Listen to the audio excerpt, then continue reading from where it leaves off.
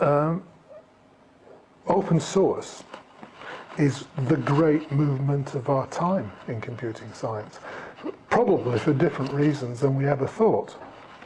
Let me give you an example. We're about to blunder into nuclear engineering again because of carbon. Okay. Whatever you may think about the arguments for this, we will start building nuclear power stations again. Some of the worst code I've ever seen is from nuclear engineering.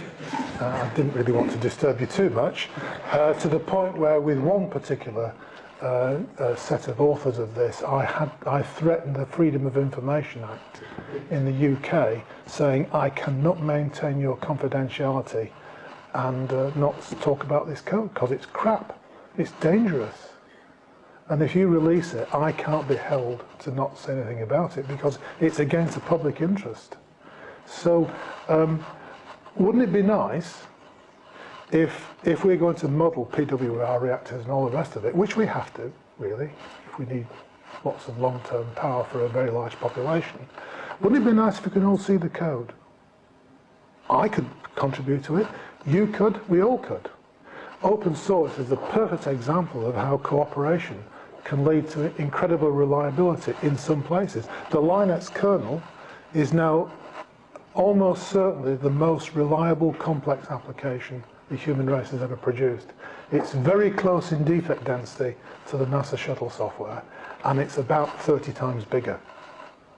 So the Linux kernel is a supreme human achievement, and it's loads of people looking at it, testing it, fiddling with it, and making it, uh, perfectively improving it, and it's a great role model, really. I couldn't. I, I, to me, it's a huge step forward.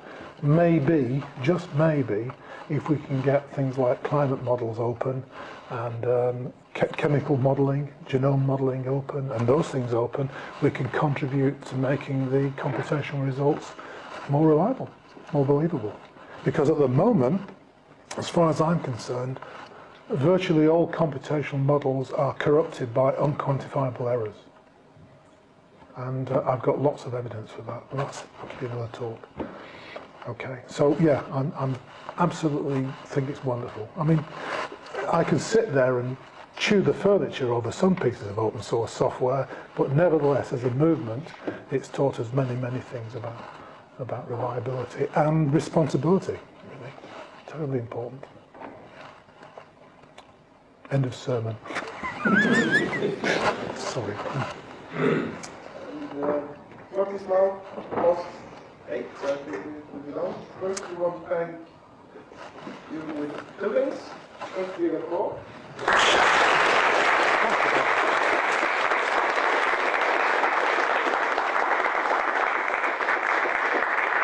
Oh, that's very kind. Thank you. Cup for tea or coffee, Oh. depending on your favorite. Yeah, it works with both. Fantastic. it's, it's reusable. Thank you. That's brilliant. That's very much indeed. Thank you.